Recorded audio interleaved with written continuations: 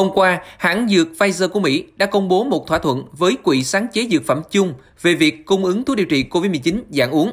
Thỏa thuận này sẽ giúp 95 quốc gia có thu nhập thấp và trung bình tiếp cận thuốc với giá hợp lý. Theo thỏa thuận trên, Pfizer sẽ cấp quyền sản xuất thuốc generic của thuốc điều trị COVID-19 của hãng này cho Quỹ sáng chế dược phẩm chung để cấp phép cho các hãng dược. Thỏa thuận sẽ cho phép 95 quốc gia có thu nhập thấp và trung bình, vốn chiếm tới 53% dân số thế giới, tiếp cận được với thuốc điều trị COVID-19 với giá rẻ. Thuốc generic là bản sao của thuốc biệt dược với thành phần hoạt chất tương tự nhau. Quỹ sáng chế dược phẩm chung kỳ vọng thuốc generic của thuốc điều trị COVID-19 sẽ sẵn có trong vài tháng tới để cung ứng cho các nước nghèo.